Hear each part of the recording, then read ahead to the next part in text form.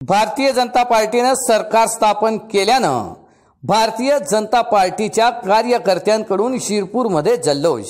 विधानसभा निवडणुकीत युतीला स्पष्ट बहुमत असताना मुख्यमंत्रीपदावरून महाराष्ट्रात राज्यात गेल्या एक महिन्यांपासून राजकारणामध्ये सत्तानाट्य हे रंगले होते. त्या सत्तानाट्याची आज अखेर राष्ट्रवादीला सोबत घेत पुन्हा मुख्यमंत्रीपदाची शपथ मान्य देवेंद्र फडणवीस यांनी घेतली व ते मुख्यमंत्री पदावर विराजमान झाले.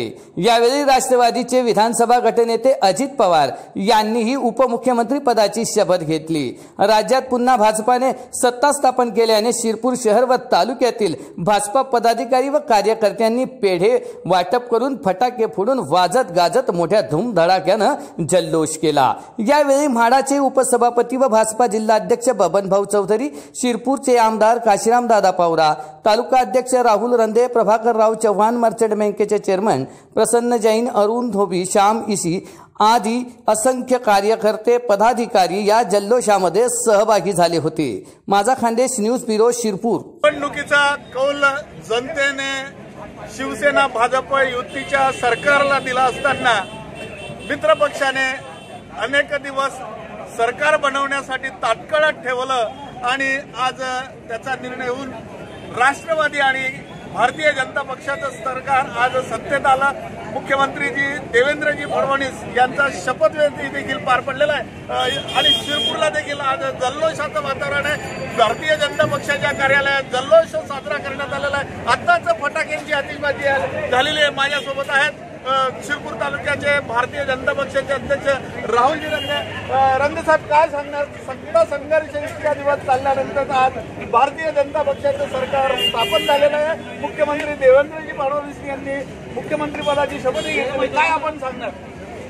पहिले तर मी आपल्या माध्यमातून सगळ्या भारतीय जनता पार्टीच्या कार्यकर्त्यांना आणि तालुक्यातील तमाम जनतेला धन्यवाद सुद्धा मानणार आहे आणि शुभेच्छा सुद्धा देणार आहे. आजचा एकदम आनंदाचा दिवस.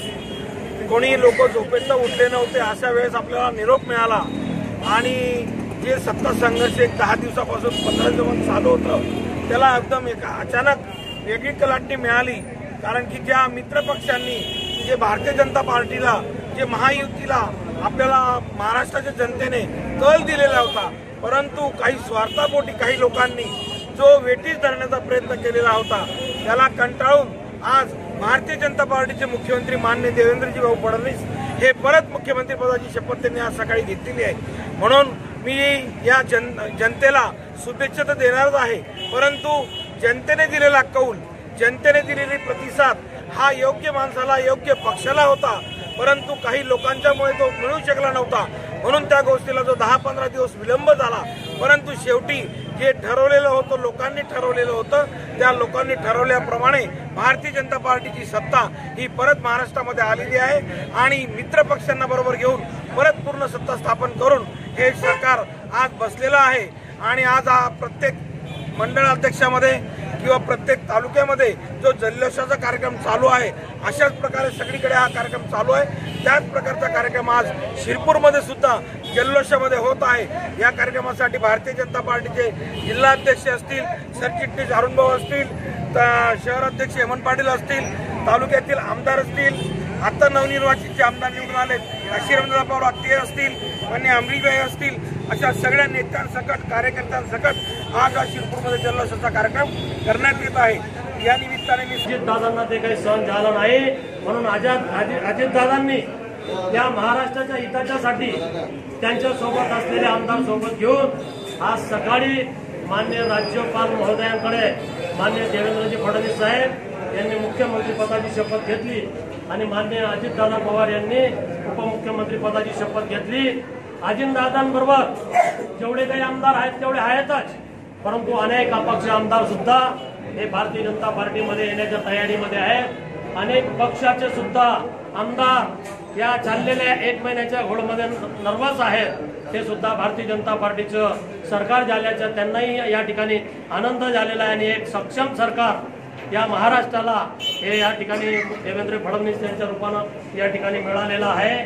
या ठिकाणी भारतीय जनता पार्टीनं हे जे सरकार आज आदरणीय मुख्यमंत्री देवेंद्रजी फडणवीस साहेब आणि आदरणीय अजितदादा उपमुख्यमंत्री उपमुख्यमंत्री म्हणून शपथ घेतलेली आहे. मला खात्री आहे हे सरकार पाच वर्ष चालेल आणि महाराष्ट्रामध्ये जे काही शेतकऱ्यांसाठी जे पावसामुळे नुकसान झालेलं आहे. त्याच्यासाठी चांगले भरीव असं मदत हे सरकार कले करेल असं मला खात्री आहे.